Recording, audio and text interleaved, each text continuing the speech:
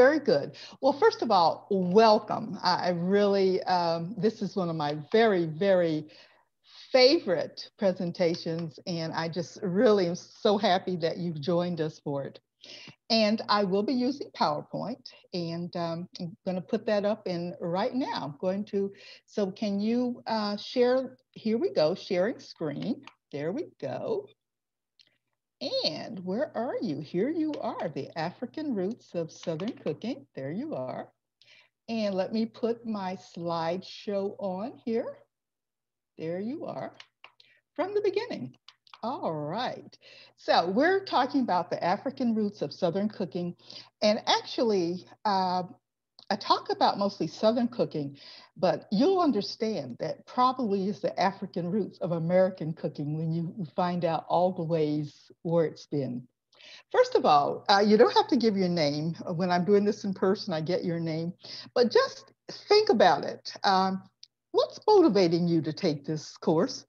And are you a foodie? Well, I am. And a foodie is somebody who loves all kinds of foods. And last week, see, I'm a Florida girl, I had the most delicious alligator bites. Never eaten alligator before, but it was delicious. So if you're a foodie, you're probably going to like this presentation. As we're going through, because after the end of this, you can maybe do some sharing with us. What are your favorite Southern recipes? Are you a fish and grits person? Are you like mac and cheese? And if you were not from the South, when did you first taste Southern cooking? So we'll be talking at the end. But first of all, we're going to take a little quiz. And so if you got your paper and pencil out, let's go to our quiz. All right. We're going to do a new share here. And where is our quiz? Here it is. Here we go, right here. All righty. Okay, we're going to do that. And we are new share. And our new share needs to be right here. Okay, now, what I'd like for you to do, uh, you see next to the food is the continent. And next to it, write either NA, uh, North America, or SA, South America. You can put A for Asia, AS for Asia, or you can put AF for Africa. So where do you think these foods came from? Think about the continent. So let's go ahead and begin, okay? Turkey, where do you think Turkey came from? North America, South America, Africa, Asia? All right, just go ahead and, and do this. Number two, where do you think tomatoes came from? Just write your answer down. Number three, coffee. Number four, squash. Number five, black-eyed peas. Where do you think those came from? How about number six, okra? And number four, maize, as it's called. Number eight, watermelon. Number nine, peanuts. Where do you think they came from? Number 10, potatoes. Where did they come from? North America, South America, Asia, Africa, Europe. How about 11, sweet potatoes? Where do you think those came from? And the last one, rice. Where do you think rice came from? So just go ahead and put your answers down and I'm just gonna give you some answers here. Turkey actually is from North America. And we're going to talk about this food exchange. Tomatoes came from South America. This is origins. Now, the number three is probably going to be a surprise to you. Coffee came from Africa. And number four, squash came from South America. Black-eyed peas, you probably guessed that. That came from Africa. And number six, you may have guessed that too. That came from Africa. How about maize or corn? North and South America. How about watermelon? Africa. How about peanuts? Africa. And how about potatoes? North and South America, but they became a staple in the European diet. And how about sweet potatoes? This is gonna maybe surprise you. Sweet potatoes actually came from North America, the yam came from Africa. And finally, this one might be kind of a surprise to you. Where do you think rice came from? What'd you put for rice, I wonder? Rice origin is in Africa. All right. So why don't we get started here? Let's go ahead and get started.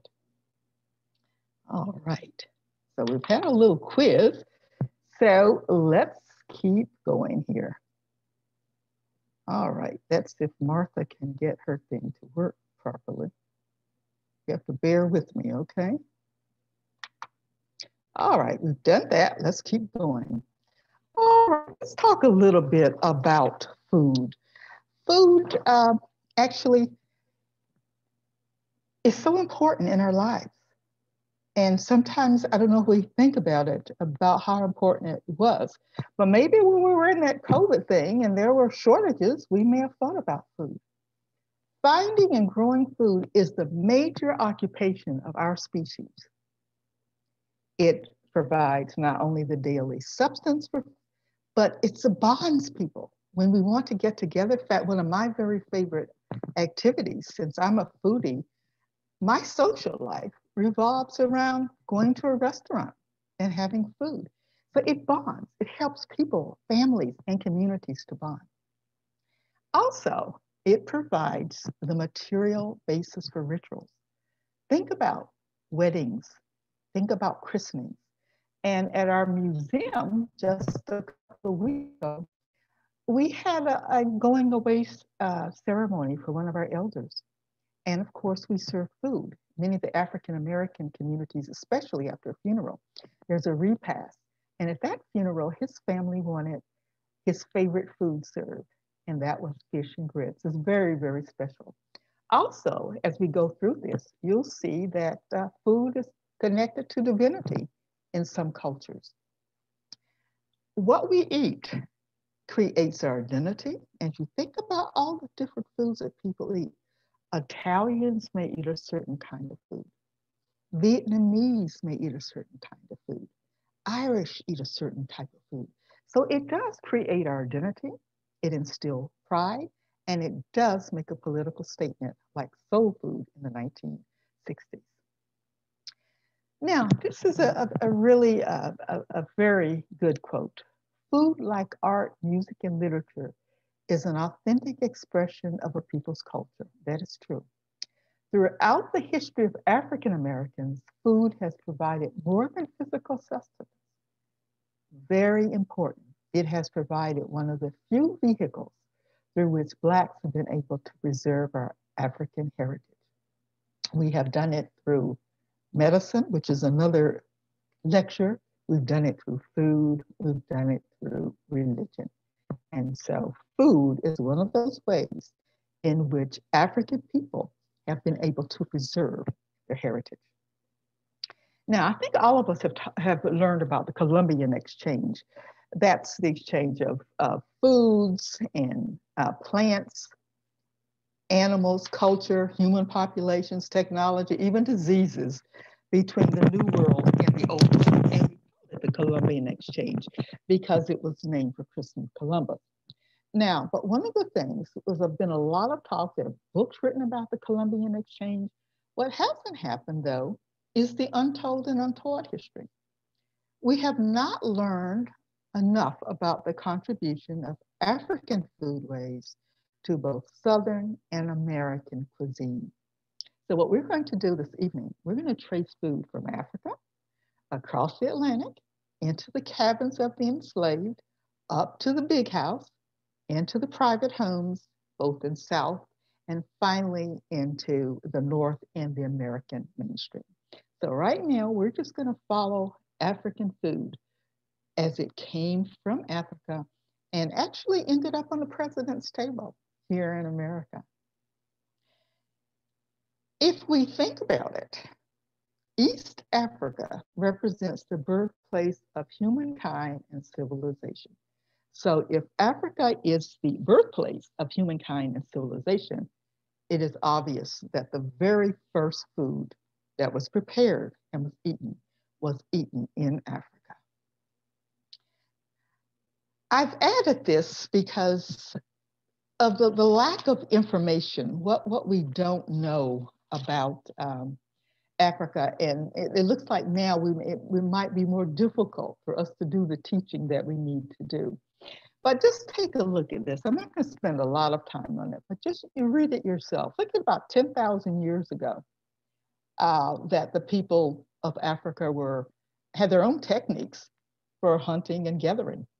You see what the men used from the smallest to the largest animals. They used their bows and poison arrows and whatnot and hunted down the, the, uh, the animals.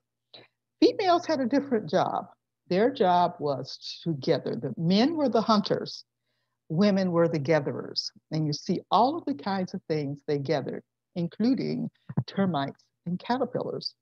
And they had these digging sticks because roots and tubers were very important in the African diet. So this, years and years ago, this is how the people of Africa ate. Now, toward the end of the Stone Age, they learned to domesticate their plants and they didn't depend solely on hunting and gathering. African farmers learned how to set aside the seeds of the strongest plant and reuse them. And I'm giving you this history uh, because I want you to understand one very important thing. The people chosen to be enslaved in America, it was not just picking up any African. The people that came who were enslaved in America, as you can see here, were people who were very skilled in agriculture. So we get to this period, and then we've got all the cereals, look all the cereals and the oils. All of this was happening in West Africa, even up to the, the Nile. So you see, look at the animals that were there cattle, sheep, goats, all in the savannah. Look at the, the products that Africans were using. Between the 16th and 18th century, very interesting, they had two workforces. You wouldn't, you pro- you've never heard this. And you probably would say, Africa? Well, I thought Africa was just a jungle. Oh, no, no, no. They had two groups of people. They had farmers and cattle raisers in the, on the African continent.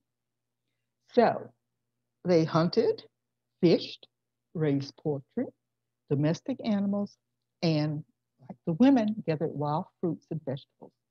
They also, Africa is known for its native markets. Commerce was taking place. And so I, I really want you, as you, as you go through this presentation, to throw a lot of maybe stereotypical thoughts that you had in your mind out and really get a feel for who these people were who came to be enslaved in America. Look at what they were doing. Now, this is very important because the African farmers learned the way to preserve the land. You know, one of the things that happens that's happened in this country is this monocrop system. And if you, you keep doing it over and over and over, it destroys the soil. But look at what they did. They planted their staple crop and look at yams, rice, these starches. Oh, yes, see rice? Rice is African. They planted these starches. And so you're probably thinking, hmm, if rice was established in Africa, when you see something a little later on, you're going to know why Africans were brought to South Carolina to cultivate rice because they had been doing it for centuries. They were chosen because of the skill in cultivating rice. So first they had their, their staple crop. And between them, look at the kind of beans that they ate and peas. They put their pigeon peas, which you hear of a lot in the Caribbean. They eat a lot of like Jamaicans, they eat a lot of pigeon peas. Their kidney beans, their black-eyed peas. So in between these staple crops, they planted those. And around the border, they did their peanuts, sesame seeds, their pumpkin, squash. Look at all, they called their eggplants guinea squash. Look at all of these plants that they use. the maize, they probably, because of the exchange, they had started to plant that. But look at the way that they planted. They understood how to plant so that they did not destroy the soil, so that every year they would have a bountiful harvest. Now, how did they cook? They cooked in very interesting ways. First of all, the, the way that different tribes cook, that was a, a mark of cultural identity. Very interesting, uh, especially if you've ever been around really good African American cooks. It's performance. To be a good cook and to have the audience sitting at the table waiting for your food, that is amazing.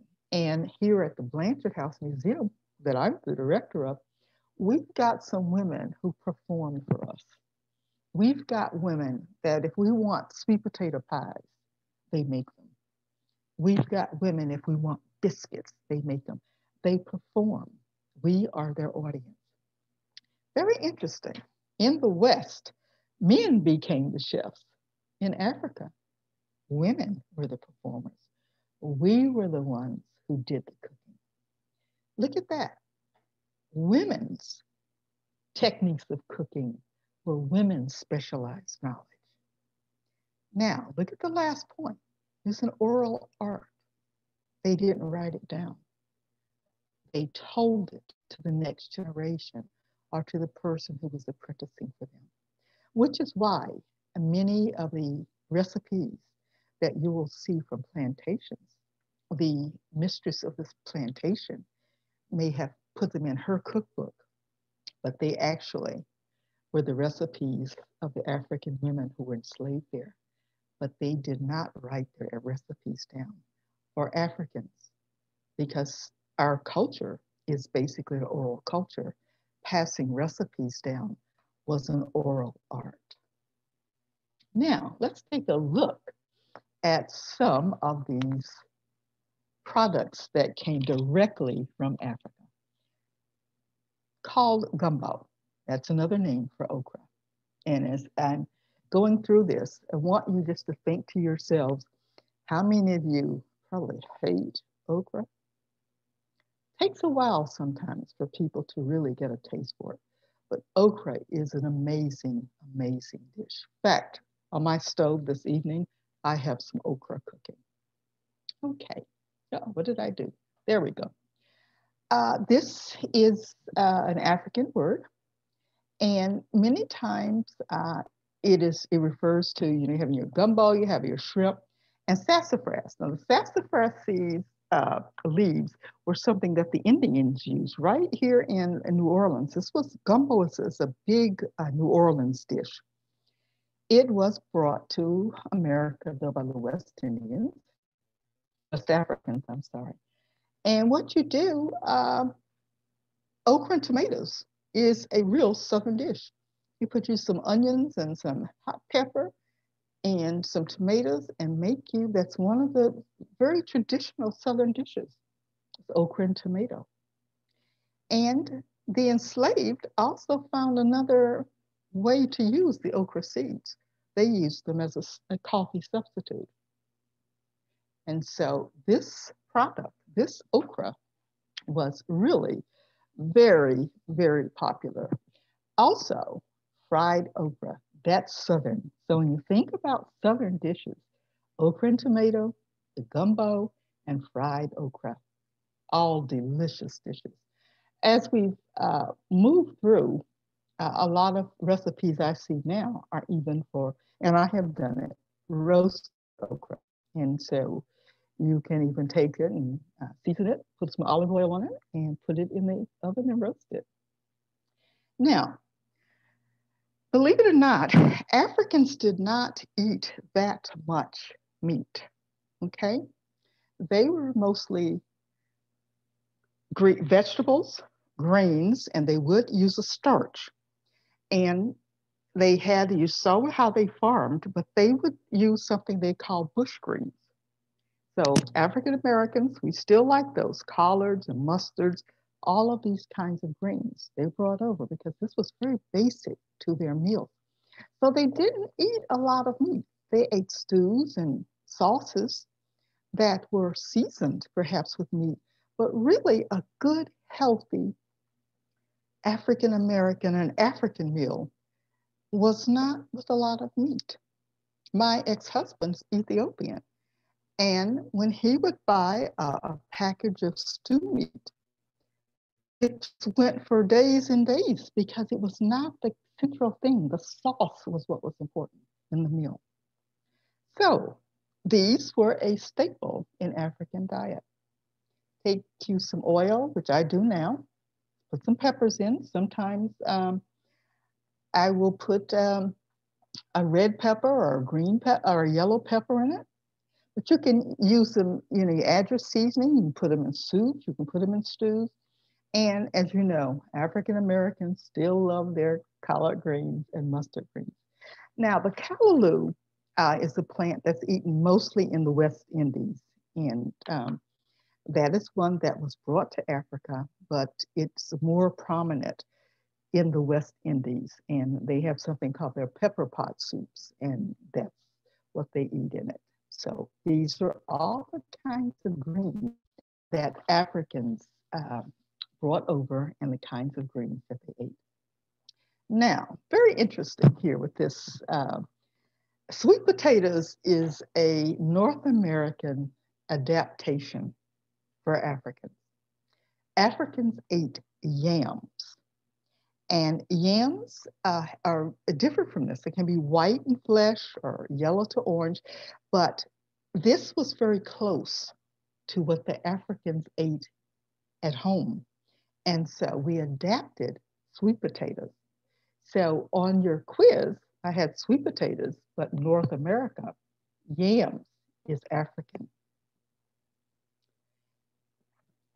They, yams, were uh, a major part of the, the African diet.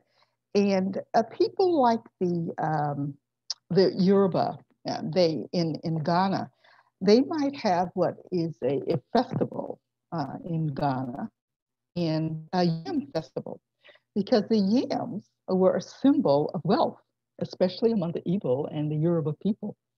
And so this was part um, of, of the rituals that they would have and the religious importance of the yam. Yam was very, very important in the culture of Africans. But however, they got here, there were no yams, but there were sweet potatoes.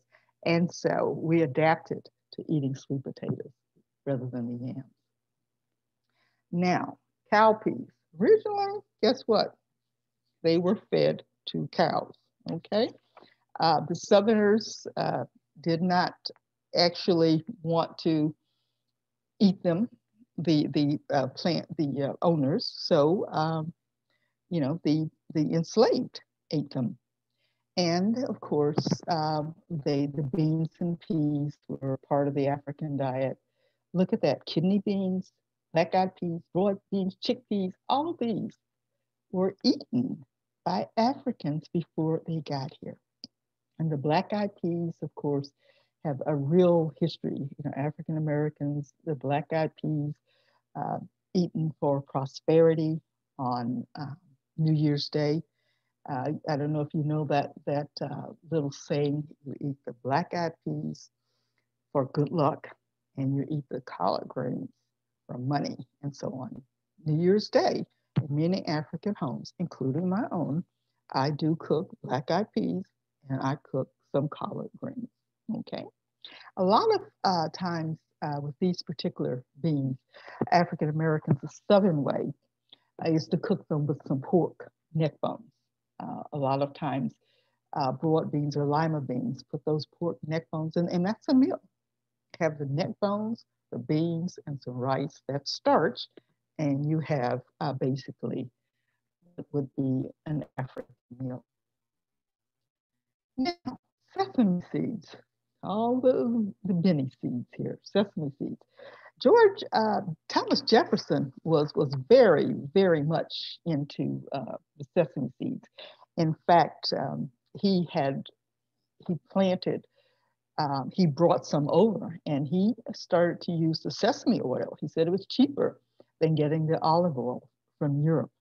And so these uh, guinea seeds or sesame seeds, uh, they're used in making cookies and making candy. If you go to Charleston, you can buy some of the cookies or candy made with them. And so uh, also used in soups and puddings. And as I said, Thomas uh, Jefferson grew the seeds for salad dressing himself. He did that.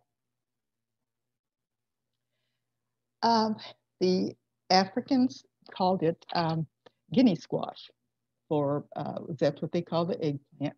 But of course, it was part of um, their diet as well. You see, uh, it is a vegetable that came from West Africa, but you see, their eggplant could be um, different colors and it could have different shapes. But again, we eat eggplant or guinea squash. It came from Africa. As, as I'm going through, you're probably thinking of all of these foods. My goodness, all of these foods that migrated, that came across in the Middle Passage from Africa. And this is, is an interesting one, the cola nut. Okay, we know the cola nuts, we know how they're used, uh, making um, the, the Coke products and whatnot. But they also had a, another uh, purpose when um, when they were when the when they were bringing the enslaved over. You see that they're really native uh, to Western Sudan, and we know it's used in our cola drinks now. But many times on the on the uh, the boats, on the ships, when they were bringing them over, they used the cola nut. And just just think about it. All right, think about caffeine, the cola nuts to suppress their hunger. And also very in, important here was the fact that, um, you know, two, three or four months, the water becomes fetid and, it, you know, what they did was then to um, put it aboard so that the, the thirst, you know, they could um, quench the thirst and, and um, freshen the water for the enslaved. And I think um, goober nuts are peanuts, we know.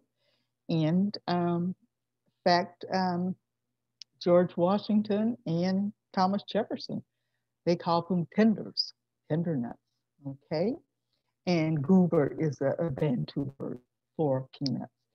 Now, Southerners like boiled peanuts. Go somewhere and get a good taste of boiled peanuts. Southerners love those boiled peanuts. Uh, also peanut pie, peanut soup.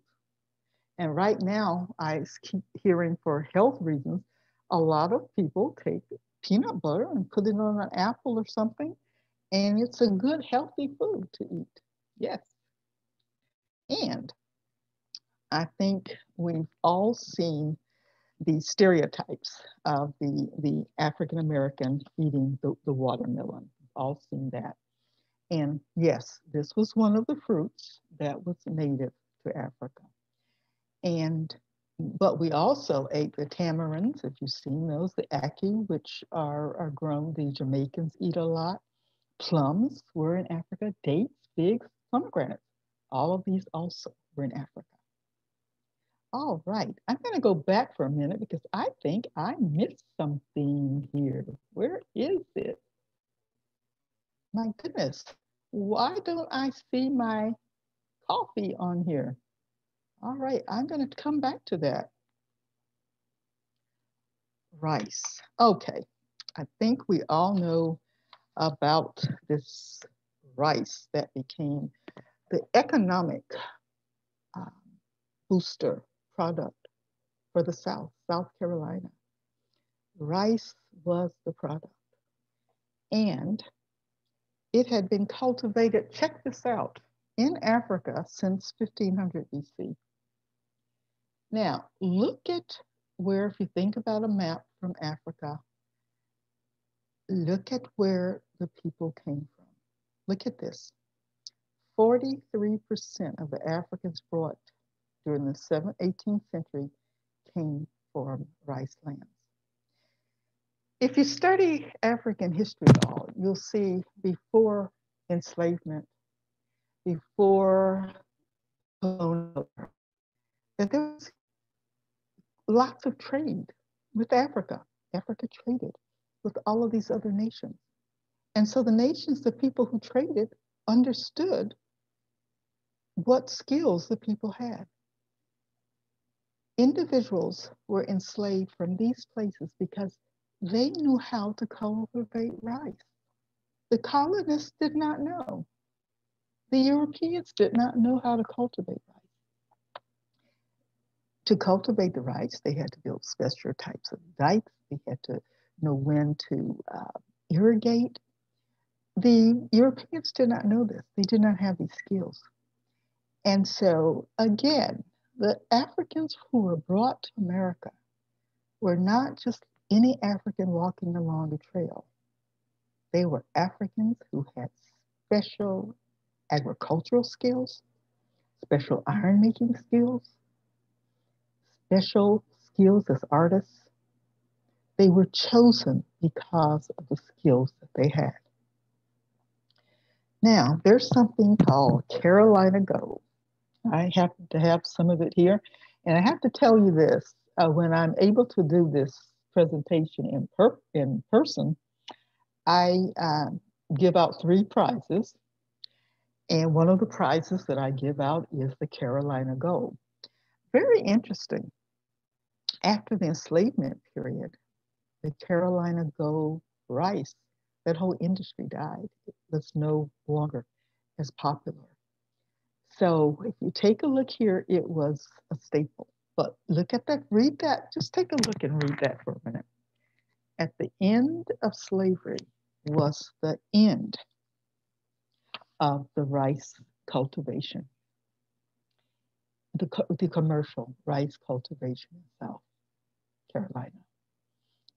It was the enslaved who made that industry and who made the economic gold in South Carolina because they had the skills to cultivate rice.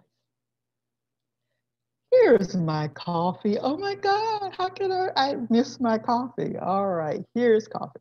And probably, probably didn't put coffee down as originating in Africa. And if I were doing this in person, you would be able to get some coffee. All right. Guess what, people? Ethiopia is the birthplace of coffee probably never crossed your mind, oh my God, coffee from Africa, coffee from Ethiopia, came from the Ethiopian highlands. And it comes from the word Kaffa, which is a region in Ethiopia. When Europeans got to East Africa, they saw these coffee houses. And one of the things in Ethiopia, they have this ritual of making coffee. Coffee is this communal experience. It's like the Japanese have the tea ceremony. There's a coffee ceremony with the Ethiopians. Very interesting how this all developed. It, it, there's a story that says this uh, shepherd was out with his, his sheep, his goats, or whatever, and they must have eaten some of these coffee beans, and he started acting really strange.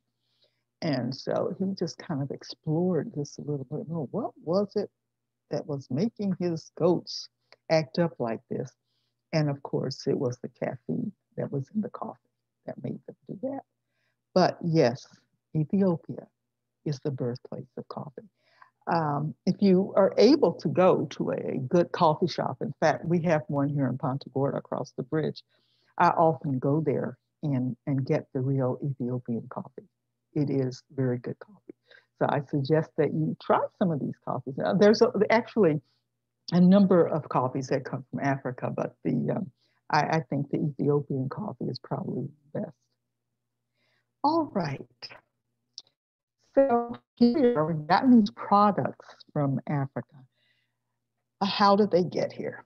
We know of the Middle Passage where the enslaved were taken and three or four months on the boats across the Atlantic. And again, as I've said before, they were selected because of their specific agricultural skills. The very first Africans that were brought to Virginia knew how to grow, grow tobacco. That's why they were there. the ones who came from the grain coast, the rice, they knew how to do this. And so you had many people like were taken to um, New Orleans who knew how to do all of that stonework or ironwork. Africans were selected because of their skills. Okay, so these are some of the foods that they brought over um, for the Africans as they're on the Middle Passage. And what they what they found was that the Africans actually just survived better on this voyage, three to six months, if they did have their own food, uh, eating the food that that they were not accustomed to. Uh, they wouldn't eat it or they didn't like it, and so what they discovered was rather than bringing their foods, that they would actually bring the African foods, which is one of the ways that the African foods were able be uh, transferred to America. Now, basically, what did the enslaved eat? Their diets were horrible, uh, which is why many of them had all kinds of vitamin deficiencies and that kind of thing. On Sunday morning, usually they would go to the big house and they would get their ration, some cornmeal, some molasses, fatback, salt pork. If they had an owner who allowed it, they could grow their own vegetables in the garden. And the, the women, the, the midwives and the doctoring women encouraged the land owner, the, the slave owner, to let them have vegetables because that was one way of keeping them healthier. Some plantations, they would let the men go hunting and fishing. Not everybody did that. Now, very interesting, we end up getting to soul food. The enslaved did not eat pork chops and pork roast. They ate intestines, jaw, the maw, the feet, all of the unwanted parts of the pig. So this is what they were left to eat. But being the people that they were, they were ingenuity, had creativity, and especially in terms of food, because they've been doing this for centuries. And so they did something special with it. All right, here's cooking in the cabin. Now, this cake here is one I'm not personally familiar with, but they do have this. If you go to New Orleans, ask about this in the French Quarter. This sweet fried cornmeal cake. That's another one. Uh, they use the cowpeas, of course, and uh, this fufu, which is very interesting. Um, it's a mixture of cornmeal that they would put in boiling water. Sometimes they would use, call it ash cakes, but it's just water and meal, okay? But look what happened. It evolved into our pancakes and our hot water cornmeal. If you're going to an African restaurant right now, you can get fufu, and fufu is, is a starchy. It's over here we made it with the with the meal, but they will make it with the cassava or uh, one of the other starchy root vegetables, and you pound it, and you can use it with your sauces and with stews. But when I talk about Southern food, look, this African food evolved into our hot water cornbread and into our pancakes. Cornmeal was absolutely uh, essential. That's, that's what they got, okay? Um, the ash cake, corn pone, these were kind of the, the basic uh, breads that the African American would eat. What they would do, of course, is that's all they had. They didn't get the, the, the real flour, you know, like maybe on Sundays they may be able to get some flour, some real, the white flour. But usually all they had was cornmeal. And so they could, they look at what they did with it. They made dumplings with it. Uh, they made hush puppies with it. And then they made something called uh, crackling bread, where they would take this cornbread and put, you know, pork crackling again, crispy parts of the, the, the pig that the, the owner didn't want, and they would do that. Let me tell you something delicious is to have your cornmeal dumplings in your collard greens. I don't know, some of you may have had that cornmeal dumplings and collard greens. I had a great aunt whose um, mother had been enslaved, And but she had learned, she still ate the way uh, her mother taught her. And she would take her cornbread and wrap it around her greens and eat it like that. That was the old African way of taking uh, that fufu or taking that starch and eating it with your greens.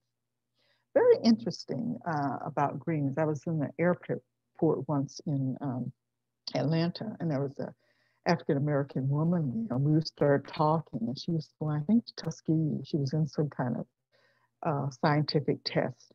What they had discovered, interesting, this is scientific, this was evidence, what they had discovered about the longevity of many of the Southern Africans was that they ate collard greens, but mostly the pot liquor off of collard greens, the vitamins that were in that was responsible for giving them the minerals that they needed for longevity. I have to tell you this I had a cousin who died in December. Mary Van ate collard greens every day of her life. Every day she ate them. She lived to be 102. So that was something I learned about the pot liquor off of collard greens. So here are, you can see this, this kush cake. It's the cornmeal again with some spices in it, okay? Now, the meat. We know that pork was the main source of meat. Um, and you can see here, because of the Muslim influence, um, it was not eaten a lot in Africa. In fact, uh, did not eat a lot. They ate seafood, and they did have the cattle, but when they were enslaved, and I guess in order to have some kind of protein, they did uh, eat smoked and salted pork ends. Mostly they used it for seasoning. Most of the pork was used for seasoning. So what you would get uh, is when I was growing up and we were living in Virginia, you would get these um, one pot meals, which were African in design also. Like on Mondays, my mother did laundry and we might have pinto beans seasoned with country ham. Or we might have greens. Mostly in Virginia, we didn't eat collard greens. We would eat mustard greens or turnip greens, but seasoned. Your meal was not the meat. The seasoning was used to your meat. And of course, if you fried bacon or any uh, fried bacon on your stove, and some of you may remember this, you had this can or jar that had your bacon grease in it, and you dip your spoon in that, put some of that in your greens. So the enslaved cooks, and remember now, I'm telling you about things that my mother did that came all the way from Africa through the Middle Passage into the slave cabins and were passed down, oral tradition. So they would take these uh, pork odds and ends and season everything with them. Now, but check this out this good old soul food that we like. Look what they did. Look at the ingenuity of these people. They take the ham hocks. They didn't get the ham. They didn't get nice slices of uh, ham. They got ham hocks, pig feet. One of the best things you can have is some pickled pig feet, barbecued ribs, chitlins or chitlins as they're called. These were not the top parts of the pig. These were the unwanted parts of the pig. But they were able, through creativity and through using spices and putting a little love in there, they were able to make a really, really good meal. Okay, I don't know where that came from. All right. Now, this grits, okay? take the, the hominy, the Indian corn here, and the Guinea corn. You see how that was also known, the middle, these are grains. Gunja cake, it's something that tastes like uh, gingerbread. Check this out. Gingerbread that we eat, it originated in the Congo and was cooked by enslaved Africans. And I think all of us are familiar with Hoppin' John's. That's eaten a lot on um, New Year's Day too. You cook your black eyed peas and cook your rice together and these were just kind of, of foods that, um, that, that the enslaved ate. And this grits, you know, grits is one of those meals, as I told you, the, the elder that passed. Um, Southerners like their grits. Parts of the South. In Virginia, we ate potatoes. We didn't eat grits. We have the, the potatoes, lyonnaise potatoes that you cook with the, the bacon and the onions. In Florida here, we ate grits and fish, grits and pork chops, grits and salmon cakes, grits, cheese grits, and very popular now in one of our, I would say, upscale soul food restaurants, shrimp and grits. See shrimp and grits in all kinds of restaurants now. And it's an upscale dish, shrimp and grits. All right, here we go. There's those good old grits. Look at those. They are good. All right.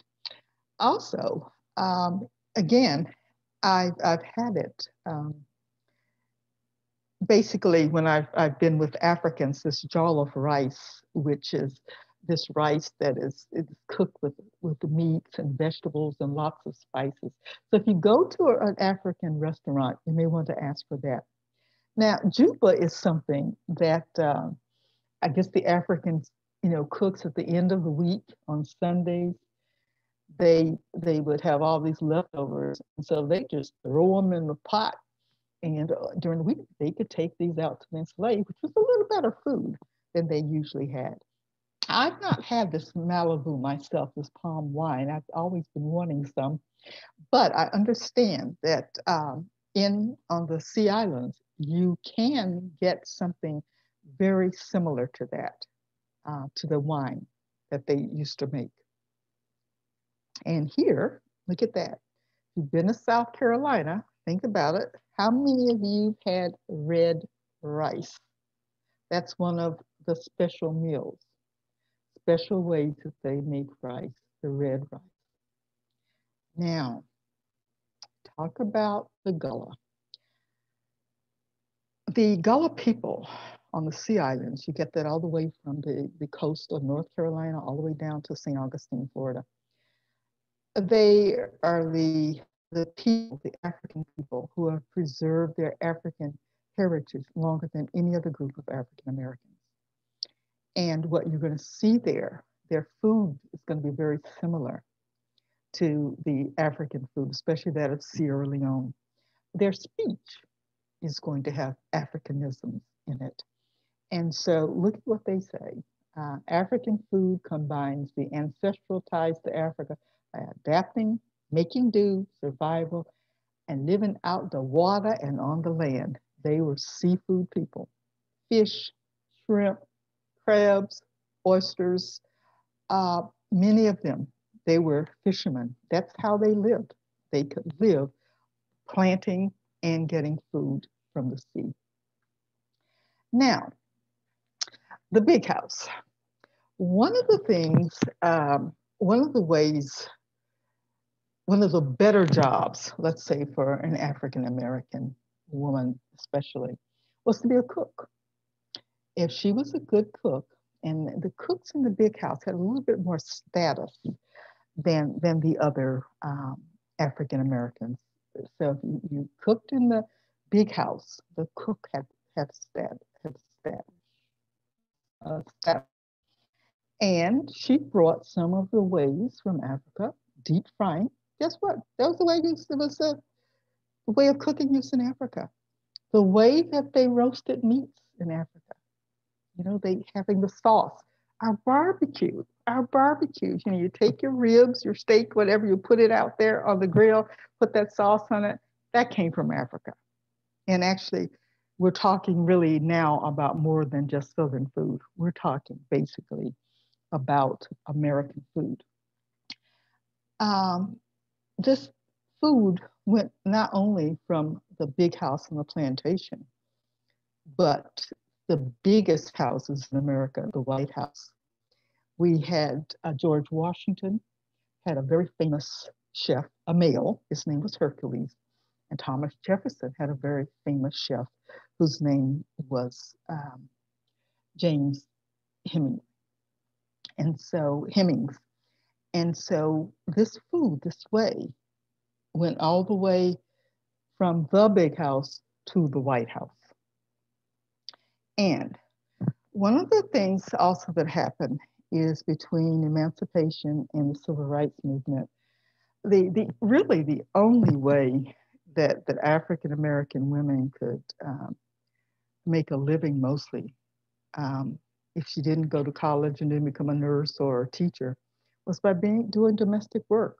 She could not be a teller in a bank, could not be a clerk in a grocery store, I mean, a white owned grocery store.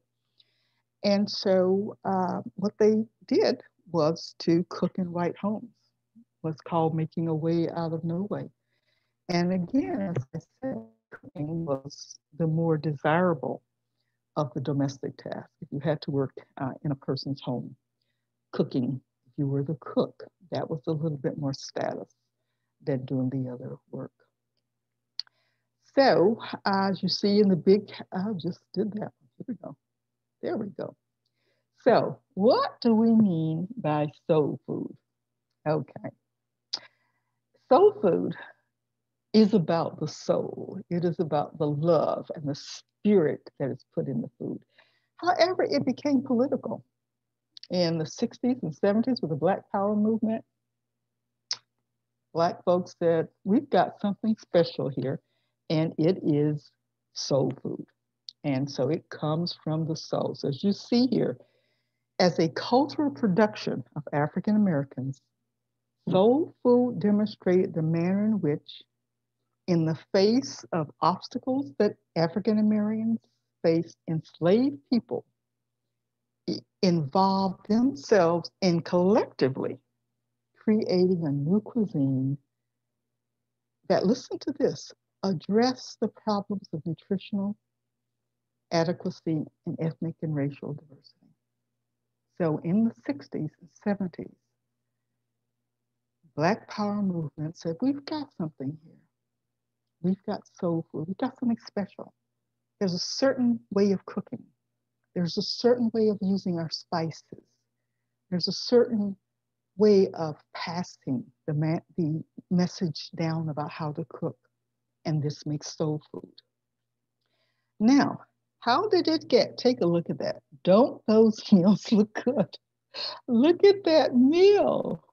I mean, like that, that's really that's, good.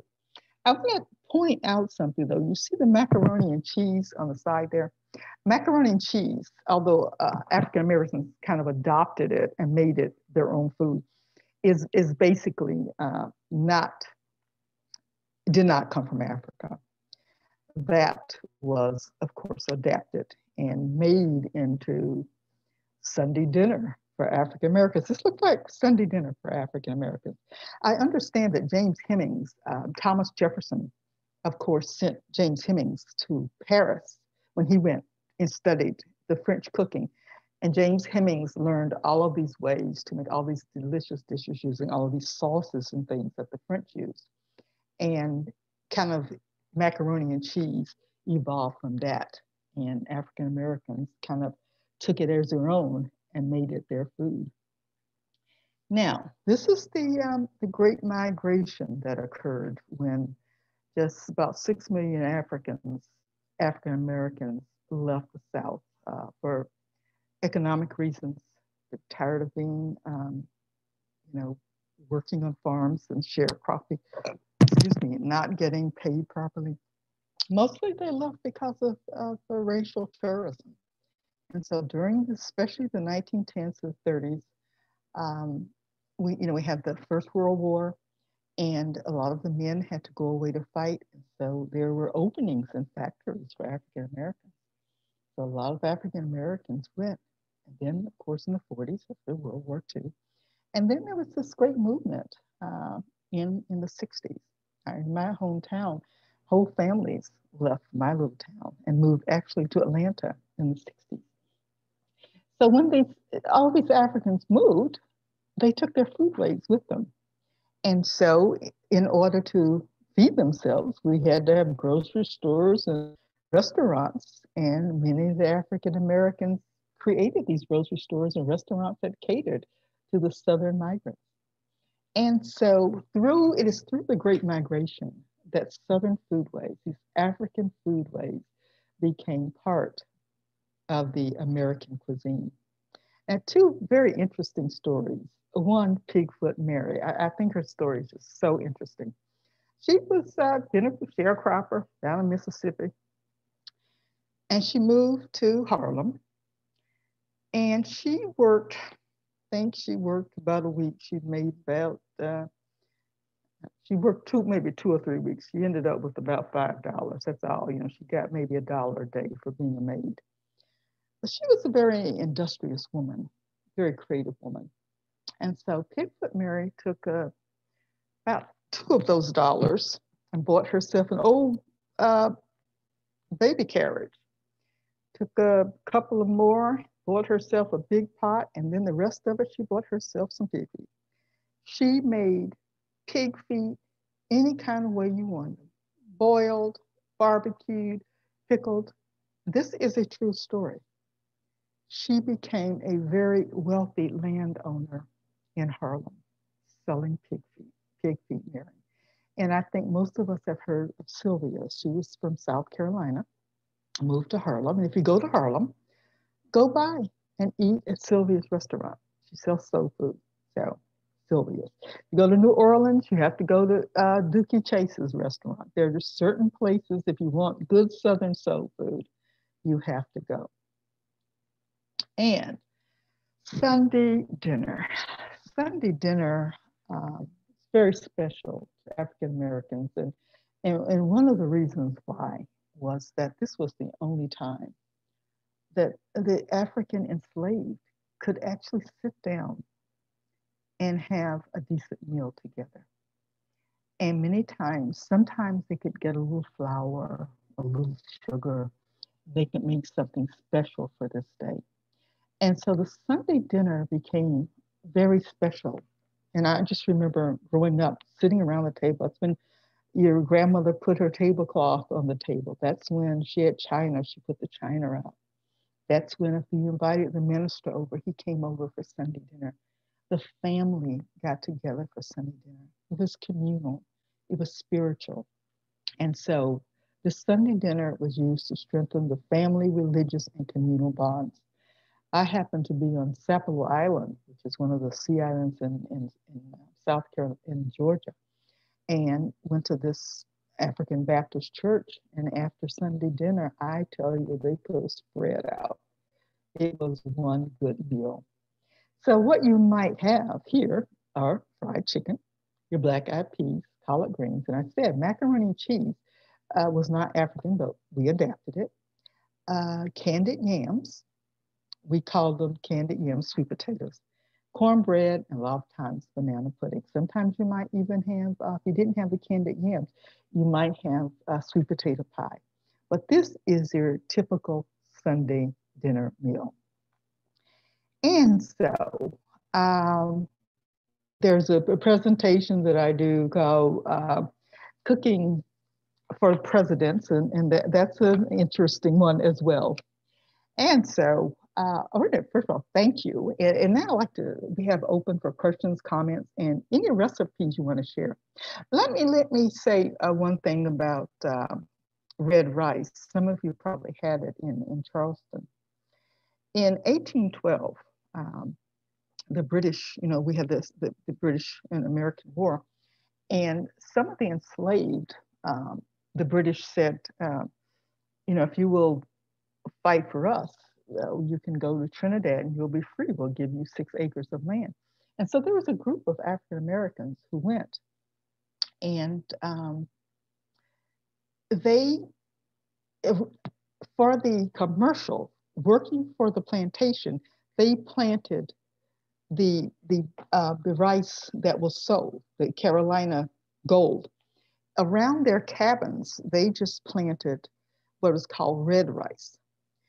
If you go to Trinidad, there is an area where the descendants of the people who left and went to Trinidad from America, they plant a very special kind of red rice that is from the colonial days. And I've had friends in, in South Carolina who make this red rice that we know. And I've often asked, are you trying to, to make the rice that your ancestors had but is no longer available? So that's just one of the curious things about um, about the culture. So, Faith, let's let's uh, open it up and see if we've got some questions here. Yes, absolutely. Um, so, folks, if you want to ask a question, feel free to pop that down in the comment section below. I'll add a comment just so it kind of pops up for everybody.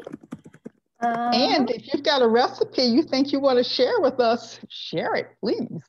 Yes, please. That'd be wonderful. Um, I actually did have one question myself. Mm-hmm. Uh, I grew up in North Carolina in Southern culture, and one thing that was really important was kind of the food after funerals that you kind of mentioned yourself mm-hmm. earlier on.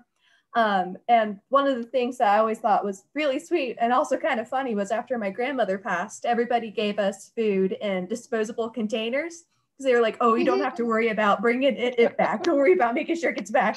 And like you could throw it away, and like that was always so sweet and kind of funny that they went that extra mile. And I was just kind of wondering if you could talk about kind of the funeral food culture um, in African American okay. families. Okay. Uh, African American dies, the first thing people start bringing are food. That's the first thing you bring a family. You, of course, bring them chicken or you bring them a casserole, you bring them macaroni, you bring all of the, the soul foods.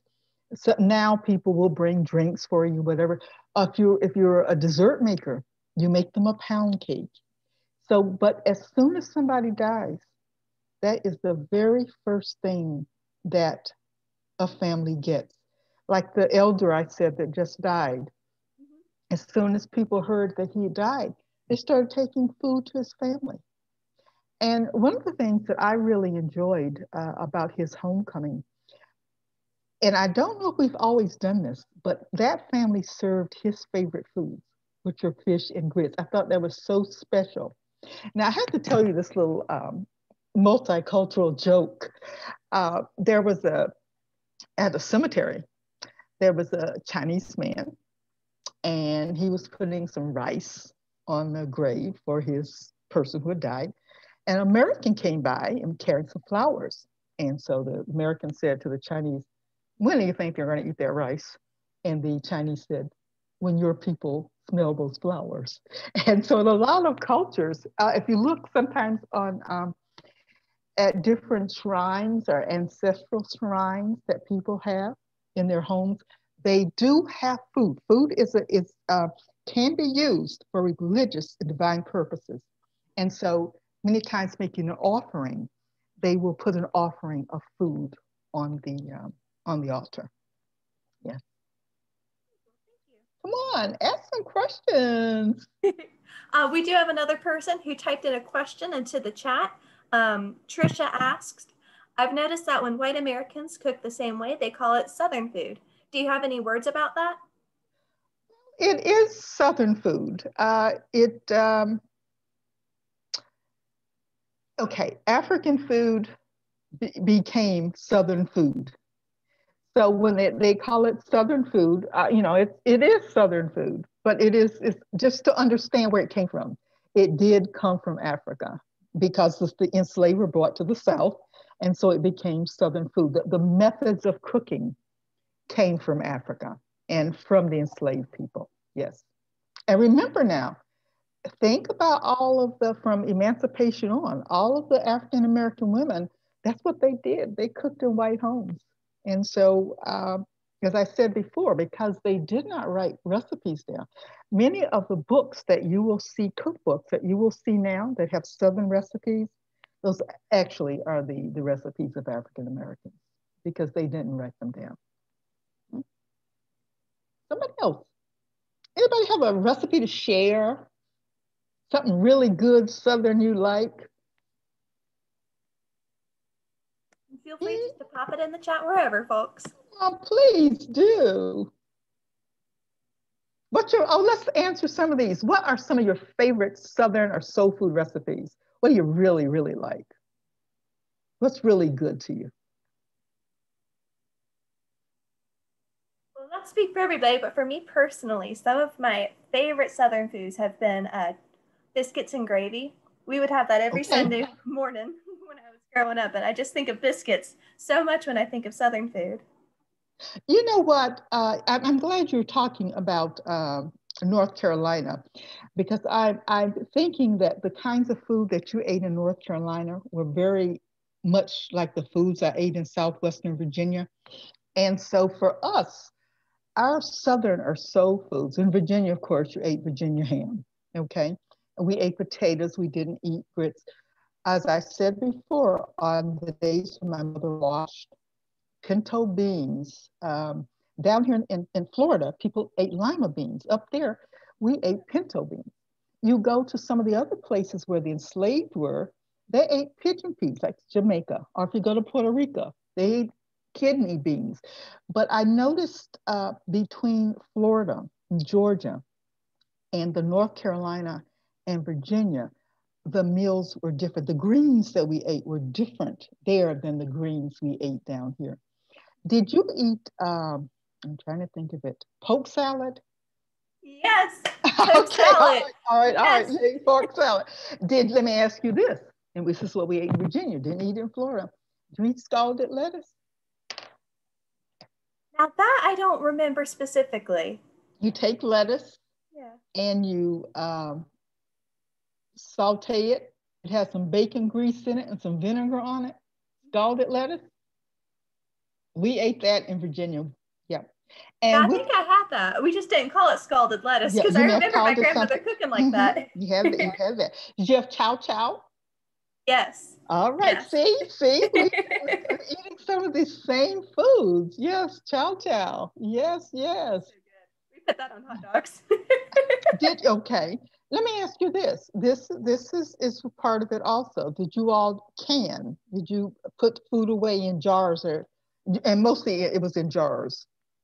Yes, very much so. Um, I've been begging my mom to teach me how to do canning um, whenever I go back up and visit, but we just haven't gotten around to it yet. Mm-hmm. But very mm-hmm. much so. I still have a jar of my um, grandmother's apple butter in the refrigerator that I just can't bring okay. myself to open yet because it's so mm-hmm. good. my grandmother in Virginia made apple butter. That's one of the things she made. Mm-hmm. We so actually have um, all...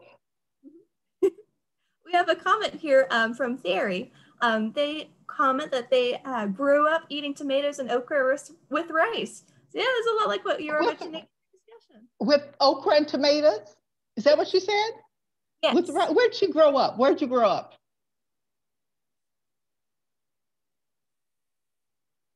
Theory also mentions that her mother still cans uh, in Florida. She grew up in Florida, okra and tomato, huh? All right. What what what um protein do they serve it with?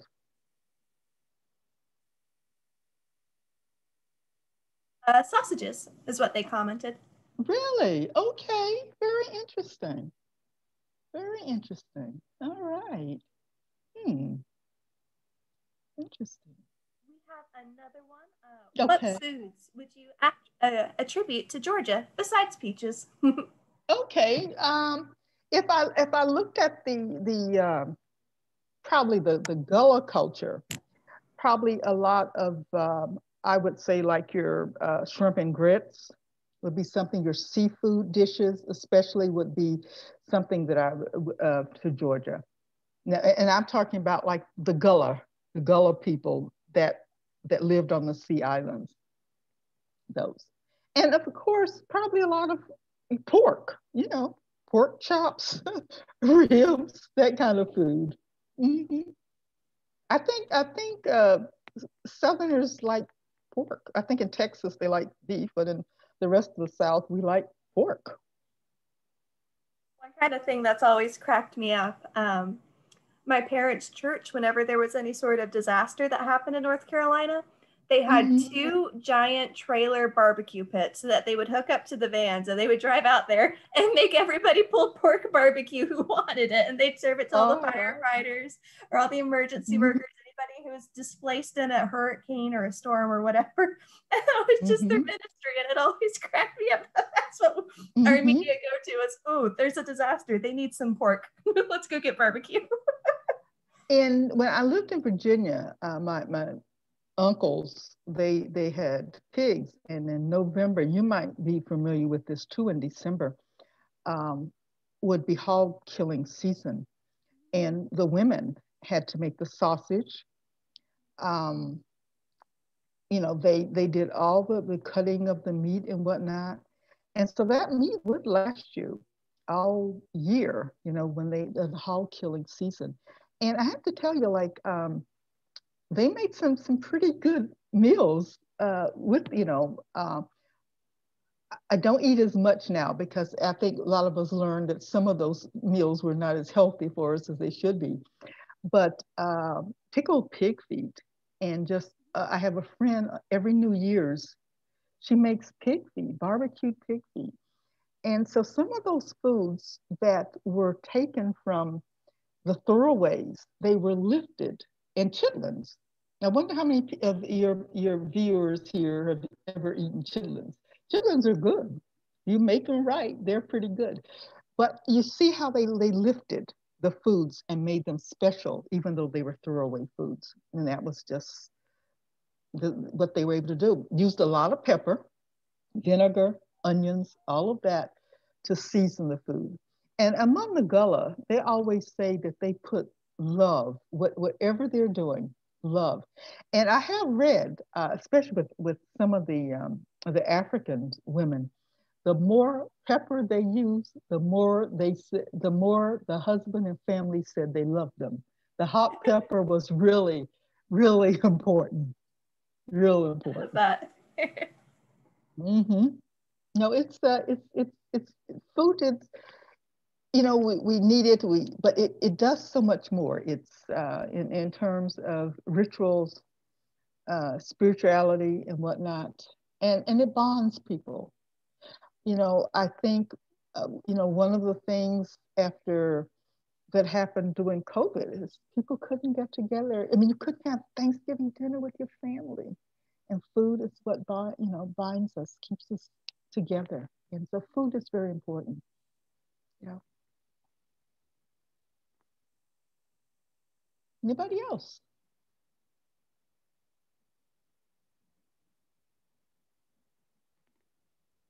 No more questions, comments, or recipes? I'm not seeing them pop up. Um, oh, uh, Trisha did have one. Um, can you share a good peach cobbler recipe? Oh, oh, oh, oh, oh. Okay, I'm going to say no, I can't because my mother was an excellent cook. When she passed, I gave her cookbook to my daughter my daughter is the cook. My daughter could give you the peach cobbler recipe. Um, mother could make mother could make almost anything. And uh, I, I, told you about the, the elder that passed. I I do have uh, a cup of peach cobbler in my freezer that one of the women at our museum made. She gave us a whole bunch, and I have some in my my cupboard. But the one thing I will say, my mother's peach cobbler, you know, you have two crusts for it, right? Crust on the bottom and crust crust on the top. And I know you put some good cinnamon in it and um, some peaches, but my daughter has my mother's cookbook. Uh, she actually, I think, is going to be a much better cook than I am. She's, she's very good at it.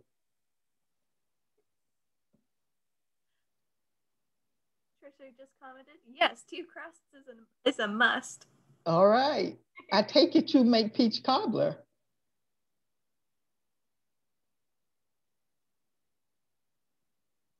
She said no. oh, she wants to make it, huh? I wish, yes. um, I'm trying to think. Uh, probably if you um, look look sometimes for Gullah cookbooks, just if Google, Google Gullah cookbooks, okay? And, and the Gullah are very good cooks you might find a good recipe in there. Try the Gullah. I want to say that we have a Gullah Geechee cookbook. I'll see if I can't find it in our catalog real quick and link to it. Okay, wonderful.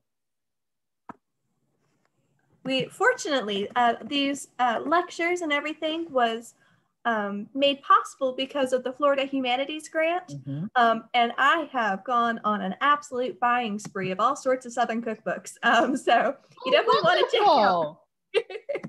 That's wonderful, do. Faith. That's great. Tell me some of the, the, authors that you have there. I'll see if I can't. Um... Um, so the first cookbook I found, um, or that popped up when I looked up Gullah, um, is Sally Ann Robinson, Gullah She- Home Cooking. Okay, she is, uh, fact, some friends of mine were just on, on the island, just met her. She is the tops. Okay, that's a good one. She's tops. Oh, we actually have two cookbooks by her. Um, the other one we have is Alphonso Brown. I don't know him. Um, oh, and the new one, I remember purchasing this one actually, um, is by uh, Matthew Raiford, uh, and Yam, Geechee recipes from a sixth generation farmer. Ooh, that's nice. So that means you're getting the, the real from way back from his great great grandparents, probably. Mhm. Available for checkout now. Okay, excellent. I remember purchasing this one like two weeks ago. So I'm like, oh, I hope it's available to checkout now that I've mentioned it. but it is. Great, great. And I'll go ahead and stick a link um, into the comments here. So that first one is to uh, Miss Sally Ann's, and the second one is to uh, the Matthew Raiford one. Okay, wonderful. Also, while I have you all here, I'll go ahead and plug the other thing we're doing. Um, on the first floor of the library next to the elevators, if you have a chance to pop in, we have what we're calling culture packs available for checkout. Um, they have a couple of cookbooks, um, some nonfiction books, and either a um, informational DVD or a piece of music that you can check out all together, and it's all about the same culture. Um, so I highly recommend it. What cultures are you having? That's so neat. Yeah, um, so we have specifically um, African American cultures, uh, Latinx cultures, uh, Caribbean specifically, since we're in West Palm. Uh, we are also doing Indigenous cultures. Um, that'll be the next program. We have a lecture uh, next Tuesday by Dr. Margaret Scary. He'll be speaking about it, and Jewish foodways culture. Um, because Jewish and foodways and Southern foodways actually have overlapped a bit. Okay. Well, since you are saying that, let me give you um, let me give you the the um, website for our our museum. It's BlanchardHouseMuseum.org. Okay. Now, in October, we are in here in Punta Gorda. We are going to open a cultural heritage center. And Faith, I'll stay in touch with you because we've got, I can't tell you how many cultures are going to be involved. This will be our third festival that we've had, uh, everywhere from Filipino, Jewish, uh, Russians. It is a phenomenal thing. And I, I will let you know about it so that you can let people in your area know about it to come over to Southwest Florida for our um, cultural festival. I think um, from the things that you're doing, I'd love for you to come over as well. That would that would really be nice. But I October, I have to remember to put myself a note to let you know so that you can invite people to come over for it. Yes, absolutely. Yeah, you all are doing all this very great cultural stuff, so that would be good for your people. It's it's a wonderful day. And tell you, uh, about a month ago, uh, just kind of to open up things because everything had been closed. We had, and, and part of our, we have an Irish part of our group. The, we had the Irish did an Irish music day and it was the most wonderful thing. Uh, if people were just walking around saying to each other, "And are you Irish? Do you have Irish blood?" And it was beautiful. So uh, anything that you all do with culture is just so much fun to do.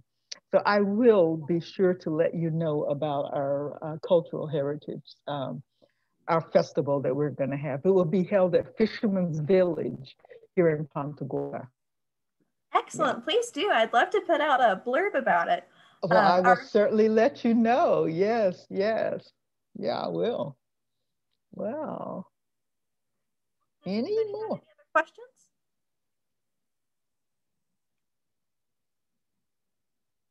Hmm. Okay. Um, I'm not seeing any pop up. One last reminder. Uh, this month we are doing grab and go seed kits as well that also correspond um, to the cultures we're talking about. And we just so happen to have both collard greens available uh, for checkout and pigeon peas. So if you want to kind of taste what we've talked about, come on down to the library and we can get you your seeds. Oh, that's so great. That is wonderful. And remember what I said about that pot liquor off of collard greens? My cousin lived to be 102, ate them every day.